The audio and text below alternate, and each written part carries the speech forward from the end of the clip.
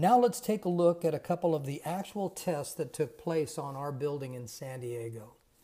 First, you see one of the tests that was 150% of the Northridge earthquake of 6.7.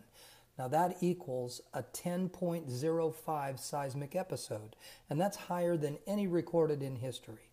After more than 10 tests at this magnitude, the table could not produce any significant damage to the building beyond a couple of cosmetic cracks in the drywall.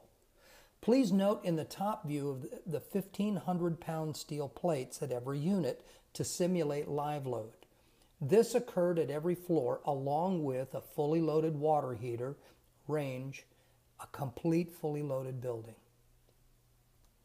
Second, they loaded the second and sixth floor with accelerants and burned the building, which in itself was not easy, being that there's nothing combustible in the building, hence the accelerants.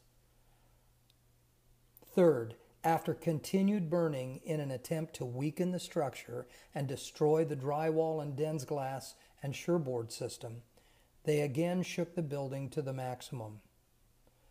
Only then, after the burning and after the breakdown of the drywall and DensGlass, did the building show any true damage, but only at the second floor where the burn took place. However, the building stayed intact it didn't collapse.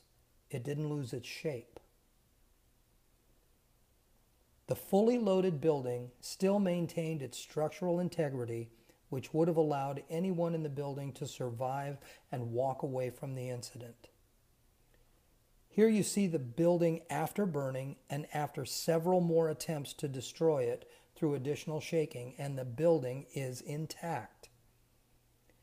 As a matter of fact, the SWS panel and truss crew had to come in and disassemble the building to bring it down.